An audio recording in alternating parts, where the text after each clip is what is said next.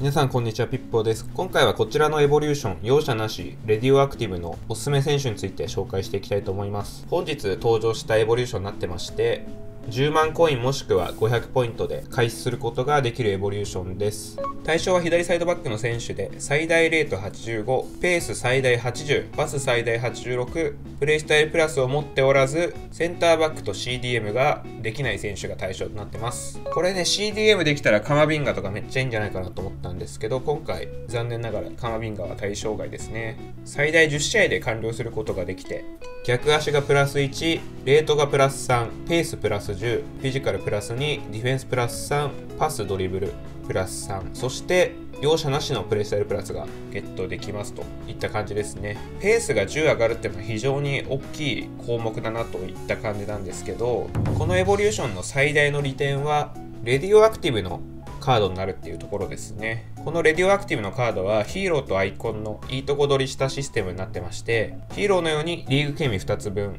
アイコンのように国籍ケミが2つ分、そしてクラブのケミが2つ付与されて、ケミ難民の救済イベントになっております。1人でこれだけケミ稼げますので、例えば、クバラツヘリアだとジョージアのケミが2つ、ナポリのケミが2つ、セリエAのケミを2つ、このカードだけで賄うことができます。なので1人適正ポジションに入れるだけでケミ2にすることができます。ケミ3にするにあたって足りてないのがリーグのケミになりますので、例えばここにアイコン選手1枚入れるだけで簡単にケミ3にすることができるっていうのが今回のイベントカードの非常に優れている点です。これと同様のケミストリシステムになりますので、単純に強い選手を入れれば純粋なスカッド強化になります。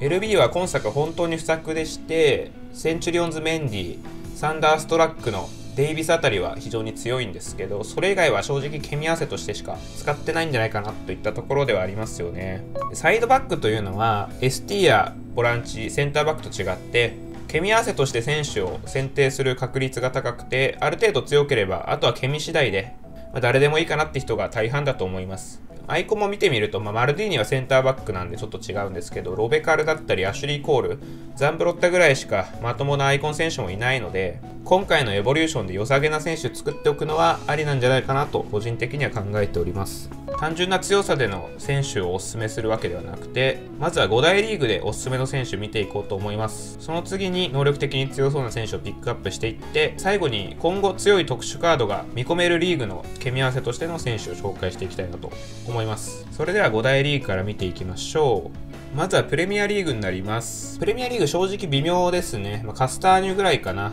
カスターニュは今エボリューションやってる容赦のないウィンガー2をやった後にこのエボリューションするとレート86にすることができますと。レート86だとこういった感じの能力になります。守備させるだけならいい感じだけど、まあ、プレイスタイルもちょっと寂しいし、ここかぶっちゃってるんですけど、容赦なしプラスと大胆なパスの2つのケミストリープレイスタイルになっちゃうので、ちょっとそこも寂しいですね。このカスターニよりも富安が一番いいかなといったところですね。富安はトリプルスレッドウィングバックのエボリューションやってた方だと、今回レート84にすることができます。レート84の富安だと結構やれそうな能力してますね。これシャドウをつけるとこんな感じの能力になって、まあ、正直攻撃性能は全くないので、センターバックなんかで使ってあげると非常に強いんじゃないかなと思いますね。センターバックにしてはめちゃくちゃペース高いし、プレイスタイルも予測だったりブロックだったり持ってる選手なので非常に優秀な選手かなと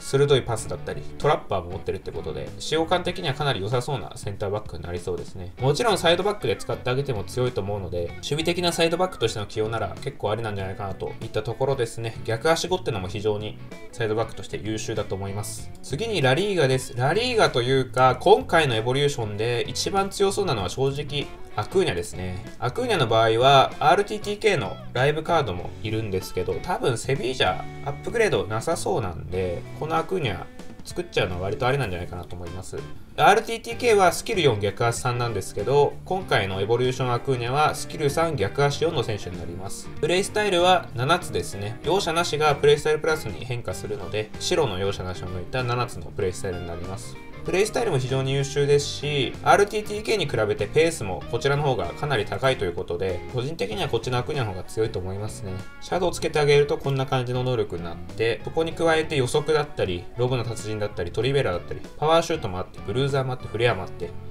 そして容赦なしのプレイスタイルプラスなんで、これはめちゃくちゃ強いんじゃないかな。次にリーグワンです。リーグワンはこんな感じなんですけど、正直全員微妙ですね。やるならタグリアフィコかなって感じなんですけど、8-3にしかならないんで、リーグワンは今回見送った方がいいかなと思います。次にセリエ A です。セリエ A も正直微妙ですね。これだったら、まあちょっとケミの優位性はないですけど、テオエルナンデスを使いましょうって感じですね。ブンデスも同様に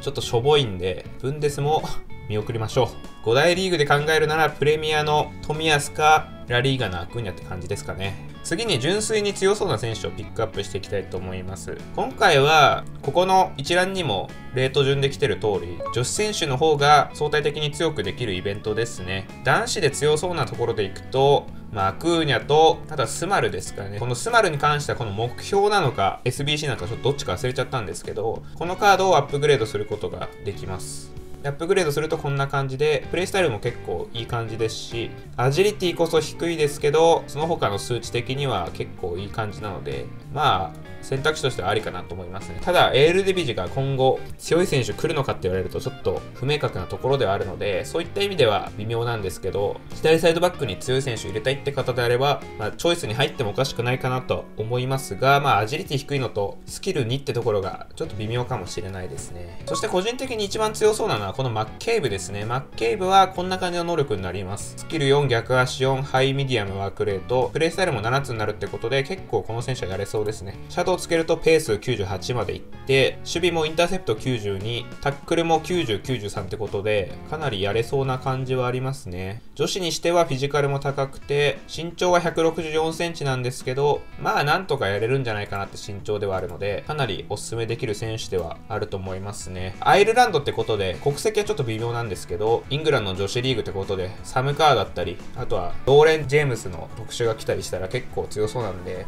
まあ、そこと合わせられるってところ、そしてアーセナルってところで、例えばウーデゴールであったり、サカであったり、ジェズスであったりっていったところと、組み合わせられるってところで、このマッケーブは結構エボリューションする人多いんじゃないかなと思いますね。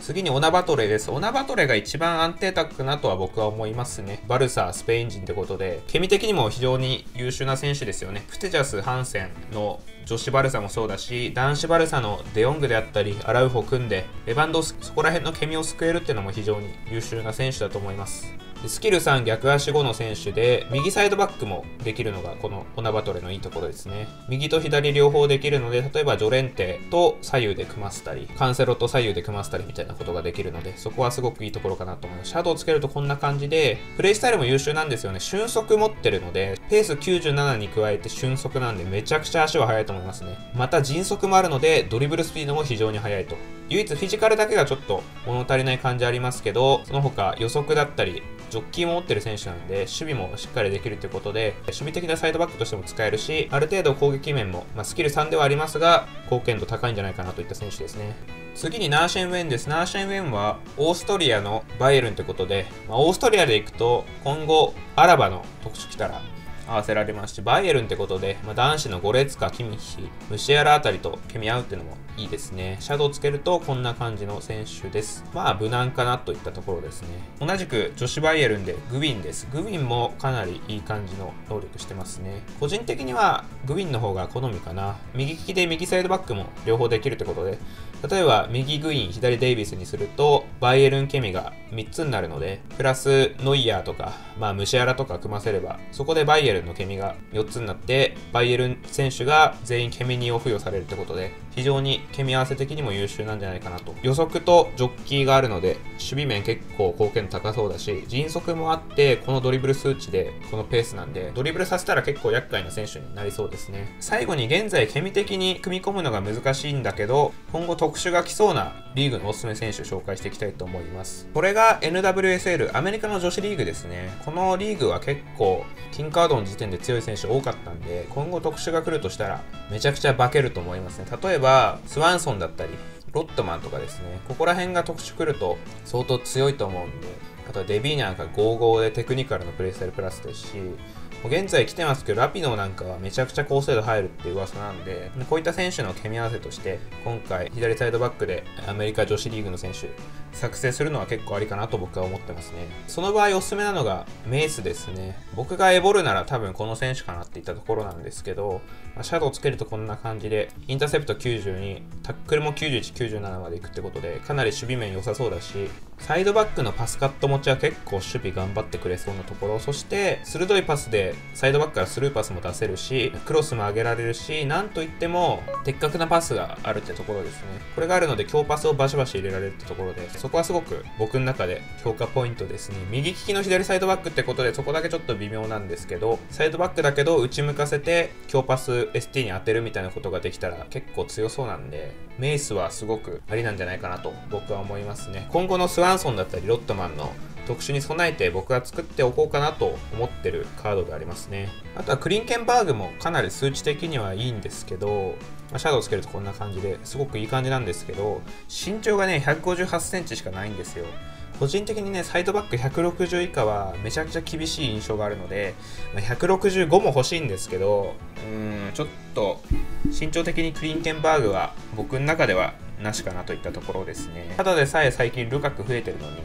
ちょっと厳しいかなといったところでありますね。なのでアメリカ女子リーグ NWSL で考えたら、メイスがいいかなといったところですね。まあ、その他いろいろ選手いるんですけど、致命的にアジリティが低かったり、どっかしらが足りてなかったりみたいな感じで、戦力的にはちょっと微妙な選手が多かったんで、一旦は今回僕が取り上げた選手を候補とさせていただければと思います。ということで今回は容赦なしレディオアクティブのおすすめ選手紹介していきましたちなみになんですけど今回のエボリューションに限っては今後の2段階エボを見越してレート低い選手を作成するのは非推奨ですねというのも別のエボリューションしてしまったら今回の最大のメリットであるケミつなぎの優位性が失われてしまうからです。なので今回は1回で完結するなるべく高レートのここら辺の選手から選んだ方がいいんじゃないかなと僕は思ってます。僕はこのメイスかあとは今後のバイエルンを見越してグビンを作成しようかなといったところですね。グビンだったらドイツ人のケミも賄えるってことで、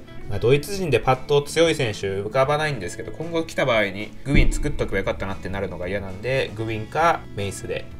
やろうかなと思ってます。まあ、ラリーガだったらアクーニャ、バルサだったらオナバトレって感じで、まあ、ここの2選手も非常にいい感じで、単純な能力の強さとアーセナルってところでいけば、マッケーブもいい選択肢だと思いますので、今回はこの前のジョレンテのような一強ではなくて、いろんな選手可能性あるなと僕は思ってますので、課金できる方であったり、まあ、10万コイン出してもいいやって方であれば、ぜひやった方がいいエボリューションだと思いますね。サイドバックで組み合わせできるっていうのはかなり今後楽になりますので、そういった意味でやる価値は非常にあるエボリューションだと思います。今回の動画は以上となります。参考になったという方はチャンネル登録、高評価よろしくお願いします。それでは次回の動画でお会いしましょう。では。